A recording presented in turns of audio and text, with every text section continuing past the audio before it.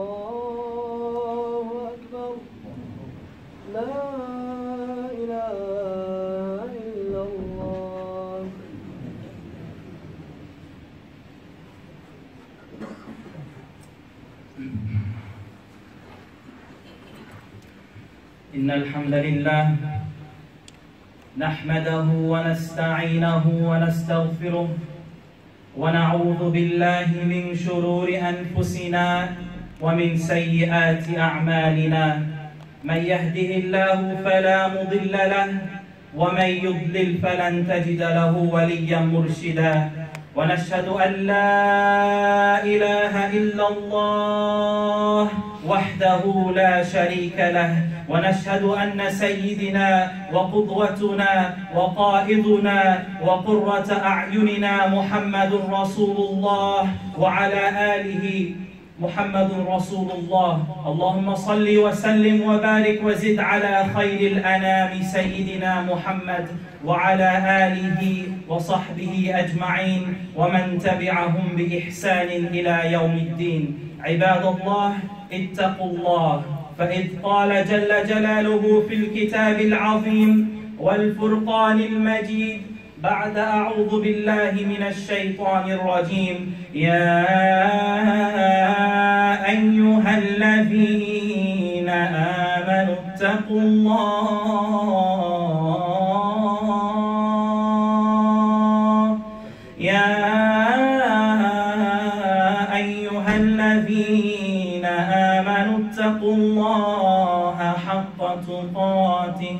ولا تموتن إلا وأنتم مسلمون. وقال جل جلاله يا أيها الذين آمنوا اتقوا الله وقولوا قولا سديدا. يصلح لكم أعمالكم ويغفر لكم ذنوبكم ومن يطع الله ورسوله فقد فاز فوزا عظيما وقال سبحانه يا أيها الناس اتقوا ربكم الذي خلقكم الذي خلقكم من نفس واحدة وخلق منها زوجها وبث منهما رجالا كثيرا ونساء. واتقوا الله الذي تساءلون به والأرحام. إن الله كان عليكم رقيبا. أما بعد فإن أصدق الحديث كتاب الله وخير الهدى هدى محمد صلى الله عليه وسلم وشر الأمور محدثاتها وكل محدثة بدعة وكل بدعة ضلالة وكل ضلالة في النار ثم أما بعد my dear respected brothers and sisters, elders, and ulama that may be sitting amongst us today. We are living in a time, ikhwati, a very dangerous time. There is a cancer amongst us, a belief, an ideology that we, in the situation we are in today, believe it is enough for what we are doing. We are living in a time where we believe my level of knowledge on deen is enough. I pray, I go to the masjid, I fast Ramadan, I've done Hajj, and that is enough. I don't need to overstep the boundaries and go further and look into my religion and actually study into becoming someone or something. I don't need to do that. This is a disease that has been placed amongst the Muslims, wallahi. There was a time back in the days where the ulama flourished that the layman like you and I is equivalent to the alim that we have today. The layman, not the alim. Allah subhanahu wa ta'ala has ordered us to seek knowledge. Because how are we, ya ikhwan, going to understand who Allah is? How are we going to worship our Allah if we don't know, if we haven't taken paths into seeking knowledge, into knowing who Allah subhanahu wa ta'ala is? How good is water for our system? 70% of our body is made up of water. But if someone didn't tell you, or if you didn't go out yourself and do the study and find out how good water is for your body, would you drink it? No, you would not. I'm telling you myself. If it wasn't constantly people telling me and the media and everything around me, water is good for you, keep the intake of water and water and water, I would never even step close to water because I don't know what water is. How are we as Muslims meant to worship our Allah subhanahu wa ta'ala if we haven't put the effort to understand who He is? If we haven't put the effort to understand the religion and the guidelines that He has placed amongst us, how are we expected to do so, ikhwati? How? Allah subhanahu wa ta'ala says in the Quran, أعوذ بالله من الشيطان الرجيم ومن الناس والدواب والأنعام مختلف ألوانه كذلك. ومن الناس والدواب والأنعام مختلف ألوانه كذلك. إنما يخشى الله من عباده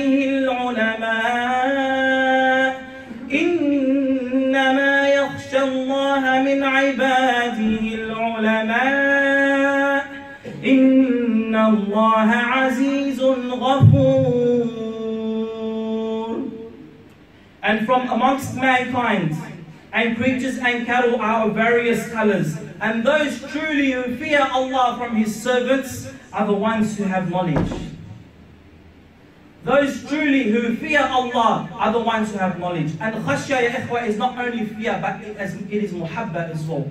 Those truly who have fear and muhabba for Allah subhanahu wa ta'ala are the ones who have knowledge, the ones who have went out of their way, sacrificed their time, put aside the dunya, and learn about Allah. This is Allah subhanahu wa ta'ala telling us, and He is forever truthful.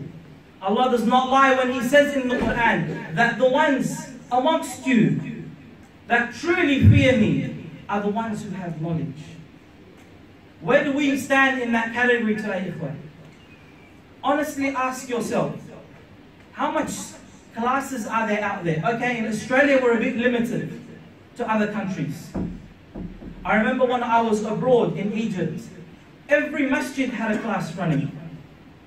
The ulama were flourishing through the streets. People, you were walking, you could see on their faces they were people of knowledge.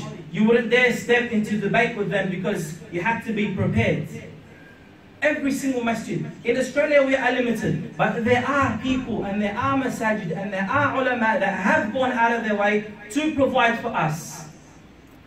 Are we taking are we taking the opportunities and learning and actually becoming from the people who truly fear Allah subhanahu wa ta'ala? Are we really? Or is everything else come before? Does the dunya come before? Now there's nothing wrong with attaining dunya knowledge, but there has to be a balance. there needs to be a balance. You can't devote your whole life to, for example, studying medicine, and we need this amongst the Muslims.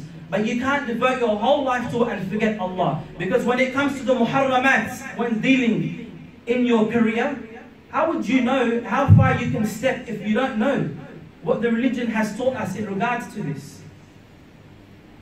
There has to be a certain boundary, a certain limit where we step back and we say, okay, I think I'm where I am at right now in regards to my dunya.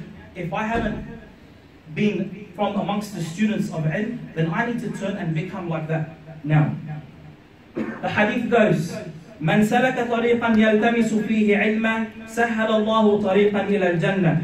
وإن الملائكة لتضع أجنحتها رضا لطالب العلم. وإن طالب العلم يستغفر له من في السماء والأرض حتى الحيتان في الماء.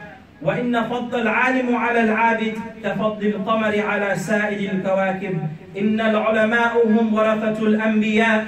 إن الأنبياء لم لم يورثوا دينارا ولا درهما. إنما ورثوا العلم. فمن أخذه أخذ بحظ وافر. The Prophet Muhammad sallallahu alayhi wa sallam narrated in a hadith that whoever makes a path of knowledge for him, Allah subhanahu wa ta'ala will make easy a path to Jannah. يا إخوة ألا إن سلعة الله غالية ألا إن سلعة الله هي الجنة Indeed, that the, the, the, the commodity of Allah subhanahu wa ta'ala is expensive. And the commodity, commodity of Allah subhanahu wa ta'ala is Jannah. But the hadith is telling us directly, whoever takes a path of knowledge, whoever sacrifices their time, Allah subhanahu wa ta'ala will make easy for them a path of Jannah. So you can be from amongst the hordes dragged into Jannah. وَسِيقَ الَّذِينَ اتَّقَوْا رَبَّهُمْ وسيق الذين اتقوا ربهم إلى الجنة زمرا Driven in hordes, the ones that feared Allah subhanahu wa ta'ala to the doors of Jannah. Driven in hordes. Why do we not take the opportunity to become? Allah subhanahu wa ta'ala has placed a guideline for us. And He has told us in order to be from amongst the people of Jannah, you have to be a muttaqi.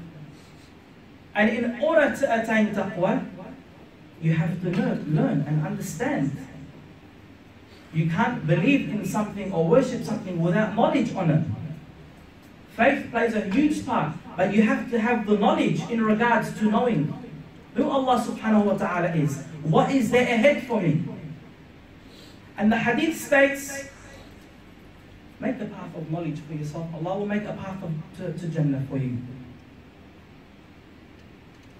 وإن الملائكة لتضع أجنحة رضا لطالب العلم that the malaika will spread its wings for the one who makes a path of knowledge, for the student of knowledge, praising him for what he is doing.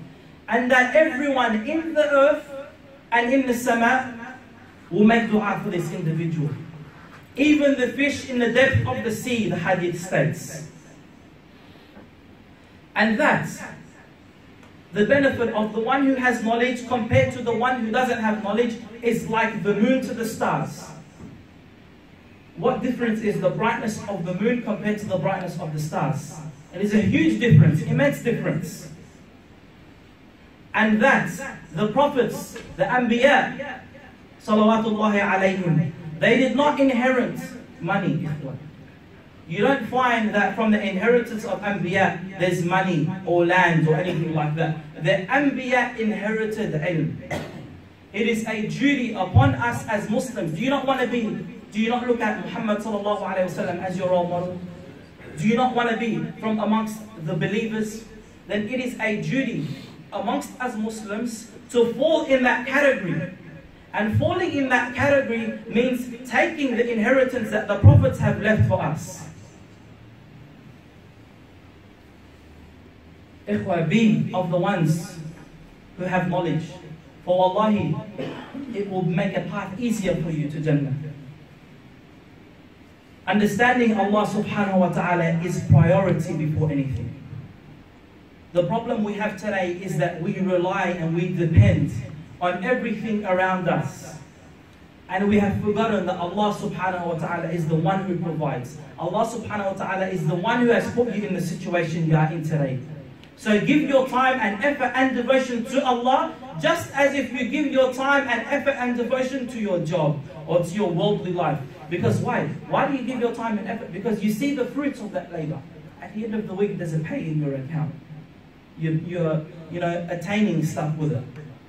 Wallahi, devote your time to ilm and you will see the fruits of it.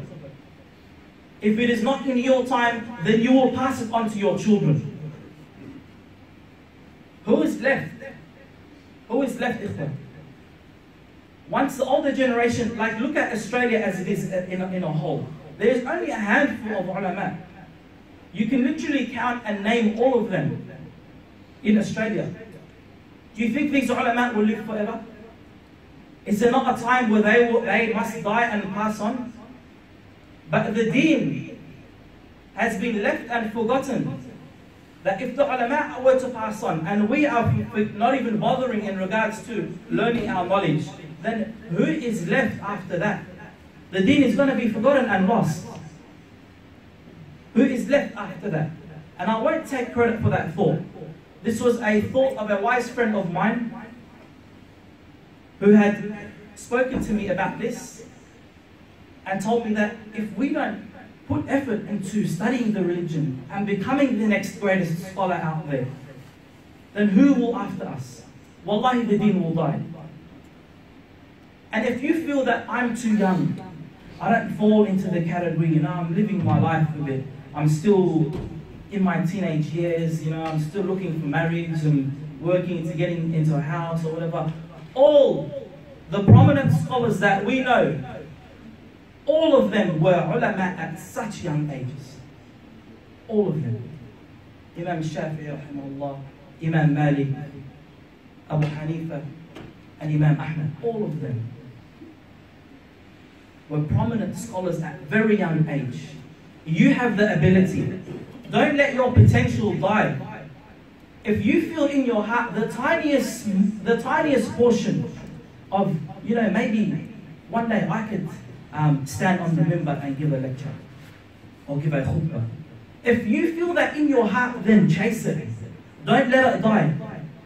And for the older generation that feel my time is gone, you know, I'm going to die soon or oh, my time is up. Allah, your time is not up. Every single thing that you have done in your past, it could be the last few months, the last few years, the last few seconds of your life that you've decided to make a change and learn. Sit under ulama and actually learn for the sake of Allah. That could turn your entire life over.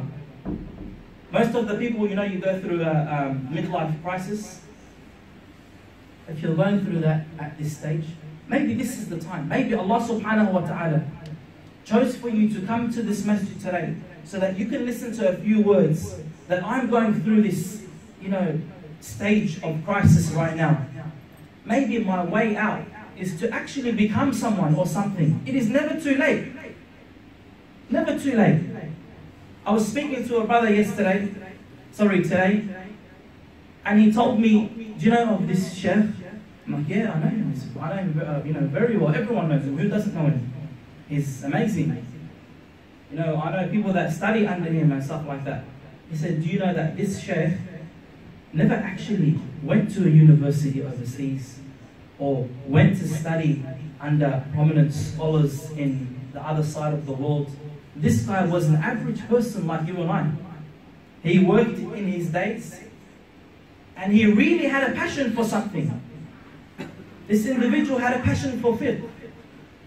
He had a passion for that idea and he said, you know what, I'm going to get into it.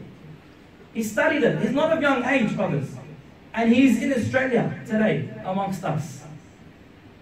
And he is a prominent scholar amongst us. He studied this. And he learned under a sheikh that came recently, not long back.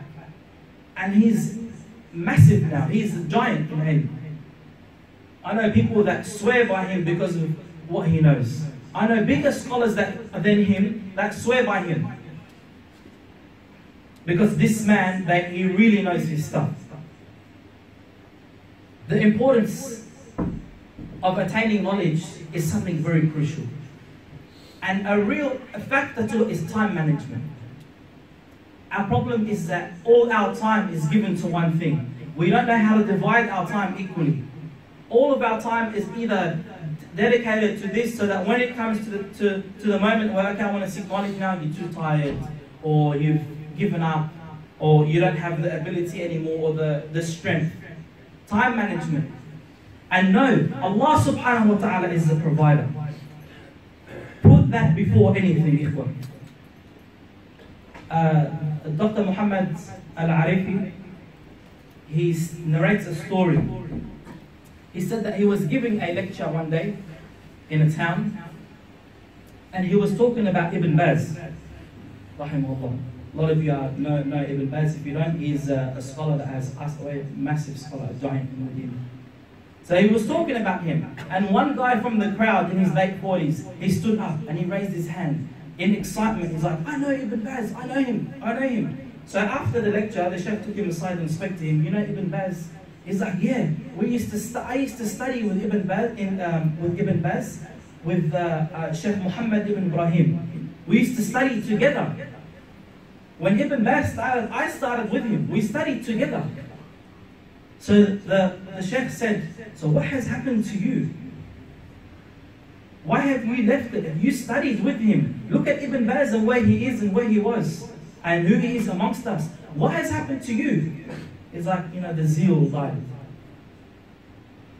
Don't let that happen to you. Wallahi, put that first and, first and watch everything else fall into place. Another, another phrase that he mentioned when he went to visit a village in the towns. He said that a man approached him and he said, It is inexcusable that such skills and talents are wasted when they long to utilize them. When I read that, it touched a personal space within me, a personal spot within me. You know that I feel that I've dedicated a certain amount of years for the deen, and I've dropped off for a while, and now this man is saying it is inexcusable that such skills and talents be wasted when you long to utilize them. There's no excuse. If you have a talent and if you have an idea in your mind and if you have the ability to make a change, there is no excuse for you. Make that change. Forget about what the people say. Everyone is going to talk. Wallahi, what we fear today is people. Because the main thing you hear constantly, yeah, but you know, I don't want anyone to speak about me. They're gonna, as they say in the Lebanese art, like, Shaykh lo halu, amili halu shaykh. No? In the translation, that this guy is, look at him, he speaks to the now. Your past is your past, Akhi. Forget about your past. The greatest role models that we have today have had pasts, and worse than yours possibly don't worry about what the people say there's two groups of people one that aim to put you down and one that aim to encourage you if this individual aims to put you down, then push him away. You don't need him. If you don't have an effect on that person to maybe make him change for the sake of Allah, push that individual away. I need someone to motivate me. I need someone to go out of their way to help me and give me direction. And wallahi, each and every individual today, don't believe that you cannot. Each and every single one sitting here today can be the next most prominent scholar each and every single one of us today can make history, wallah. And that's what Islam relies on. Our religion relies on individuals like us today to actually step forward and make a change. Too hard because you have family and whatever. Don't worry, work around it, involve them if you have to. Please, ikhwan. Don't let this idea die. If you feel, if you felt even the tiniest bit today that I need to leave you and I need to make a change, then jump to it. Ask anyone, anyone of authority in the masajid, ask him, how can I make the change? Because if it's not for you, the deen will die. And there will be nothing left for anyone after us. If you really spend your days and nights worried about your kids, oh, I need to work hard to leave an inheritance for my kids and provide for them. If you're really worried about that, then worry about leaving an inheritance of ilm. أقول قولي هذا وأستغفر الله العظيم لي ولكم فاستغفروه إنه هو الغفور الرحيم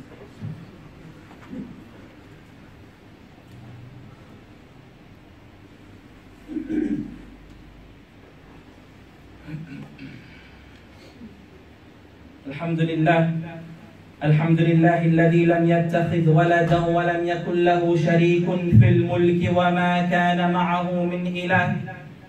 الحمد لله الواحد الأحد الله الصمد الذي لم يلد ولم يولد ولم يكن له كفوا أحد. نستغفره ونتوب إليه وأشهد أن لا إله إلا الله وأن محمدا رسول الله. وبعد ذلك الصلاة والسلام على خير الأنام خاتم الأنبياء عليهم السلام محمد رسول الله وعلى آله وصحبه أجمعين ومن تبعهم بإحسان إلى يوم الدين. عباد الله أوصيكم ونفسي أولا بتقوى الله. فكيف أن يكون لنا تقوى الله؟ وليس لدينا علم. فإذ قال الله جل جلاله في الكتاب العظيم ومن الناس والدواب والأنعام مختلف ألوانه كذلك. إنما يخشى الله من عباده العلماء إن الله عزيز غفور. وأيضا قال رسول الله صلى الله عليه وسلم من سلك طريقا يلتمس فيه علما سهل الله له طريقا إلى الجنة. وإن الملائكة لتضع أجنحتها رضا لطالب العلم. وإن طالب العلم يستغفر له من في السماء والأرض حتى الحيتان في الماء. وإن فضل العالم على العابد كفضل القمر على سائر الكواكب. إن العلماء هم إن العلماء هم ورثة الأنبياء.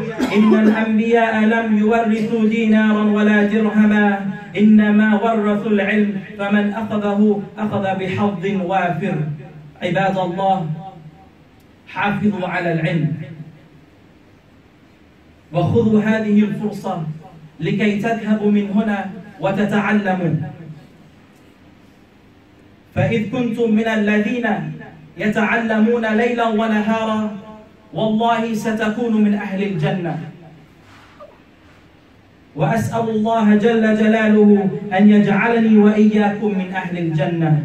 عباد الله واعلموا أن الله أمركم بأمر عظيم. أمركم بالصلاة والسلام على نبيه الكريم. فقال وهو أصدق القائلين إن الله وملائكته يصلون على النبي. يا أيها الذين آمنوا صلوا عليه وسلموا تسليما.